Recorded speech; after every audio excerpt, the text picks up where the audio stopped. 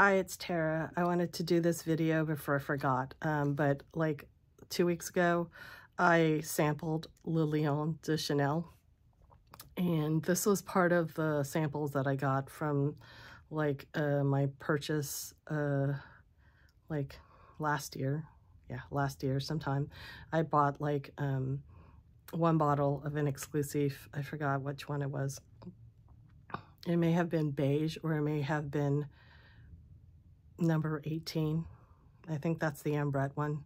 Anyways, I it was one of those and they gave me a whole bunch of stuff. So I got uh, Le Lion as one of my samples and um, it's supposed to be the answer to Shalimar by Guerlain, but I have to say that Le Lion is a whole different animal. In fact, if Shalimar is a, queen, like a Rani, Maharani, um, Le Lion is an actual animal, as in zoo animal. this is a ferocious perfume. And yeah, I was a little surprised. Uh, so it, it, the only thing that kind of reminds me of Shalimar is it's a little bit leathery.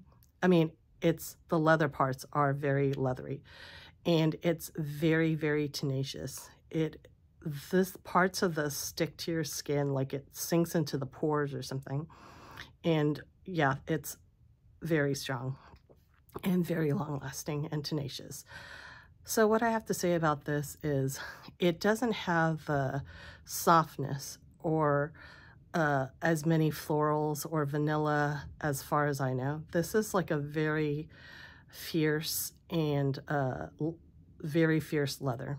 Um, yeah, I know Coco Chanel was Le Leo for lion, but I don't know if, I mean, unlike her other perfumes, this really doesn't have the a lot of the powderiness, the aldehydes, the, the slightly floral stuff, slightly powdery stuff of the other stuff that she has. This is very lean, sort of mus muscly.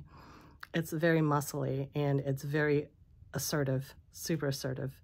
I don't think that there's any, I don't recall much sweetness in this. So it's very lean and strong and powerful.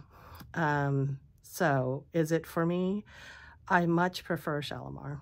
So I think Shalimar to me is more uh, rounded. It has the powdery uh, vanilla. It has the citrus. It has a lot of florals, that iris or whatever, um, that sort of like counteracts the leanness of this. This is like a very serious and intense perfume.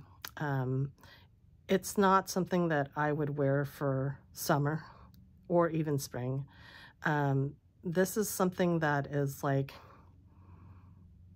it's just, it's just super intense. And um, it probably, a lot of, I noticed that um, reading Fragrantica that a lot of men really love this. It's like, to them, they just, they love it because of the assertiveness of it. This is not a weak, citified uh, Chanel, uh, like ladylike perfume.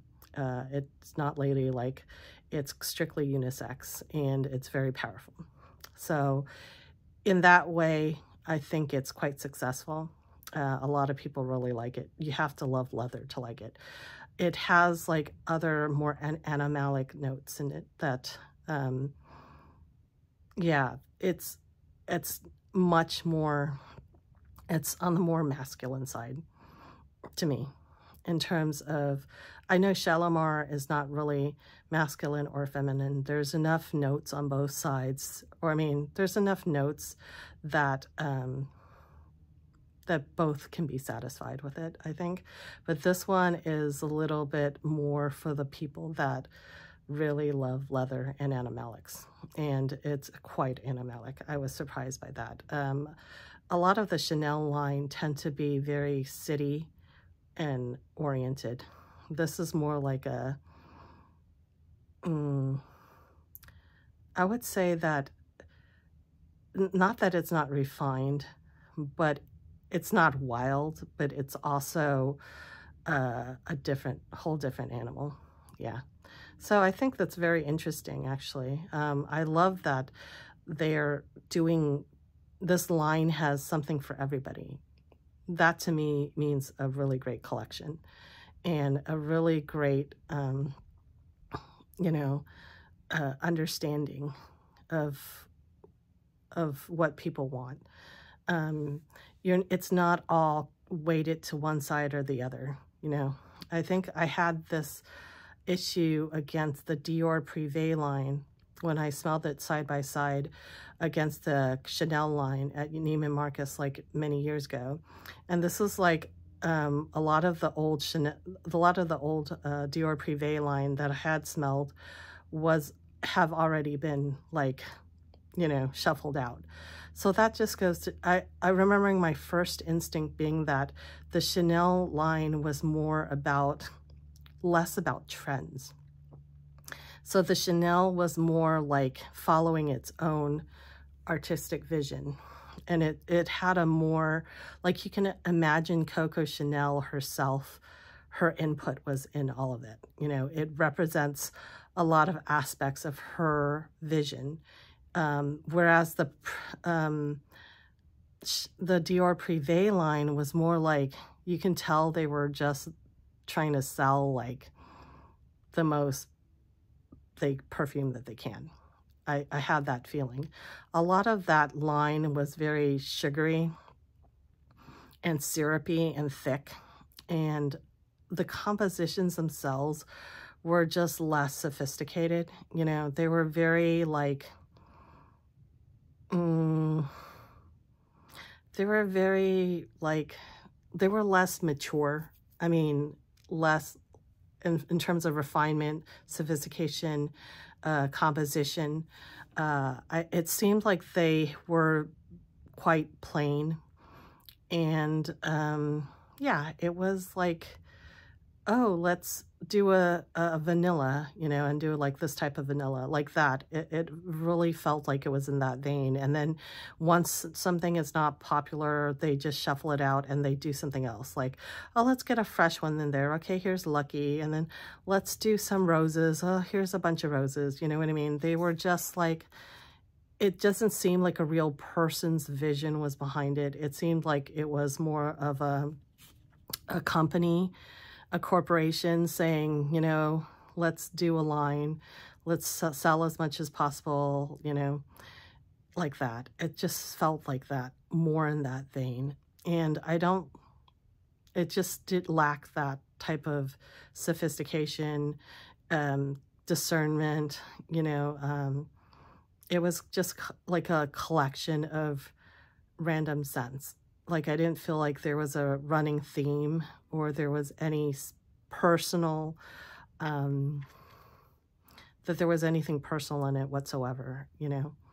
Whereas the Chanel ones have like real like associations with Chanel and uh, not just Chanel the person, but with the house itself, which I feel is more personal.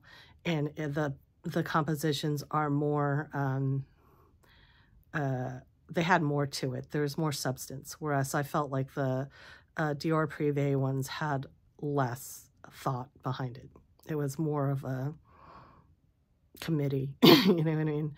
They wanted to put something together that would sell, market well. And that's just my opinion.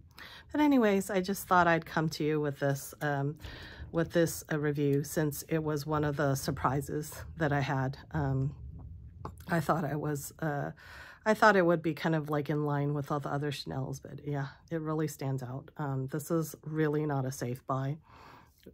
You would have to go and sniff it out on your own.